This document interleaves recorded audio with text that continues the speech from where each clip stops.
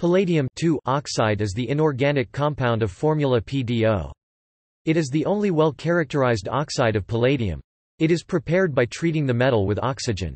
Above about 900 degrees Celsius, the oxide reverts to palladium metal and oxygen gas. It is not attacked by acids. Structure The structure of PDO is tetragonal P42, MMC a 3.044, c. 5.328a, the Pd atoms are square planar as expected for a D8 metal ion and the oxygen atoms are approximately tetrahedral. The closest PD-PD distance is 3.044 a and is almost within the range which can be considered a bonding distance. Preparation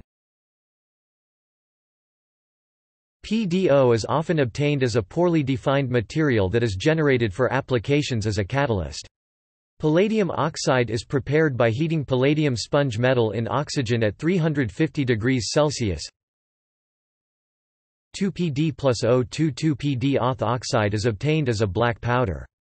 The oxide also may be prepared specially for catalytic use by heating variously a mixture of palladium chloride and potassium nitrate,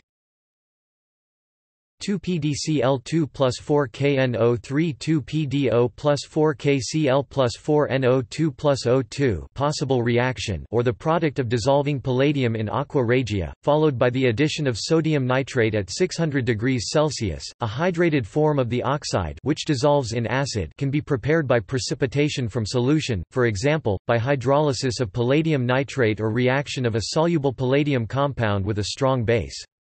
The brown hydrated oxide converts to black anhydrous oxide on heating.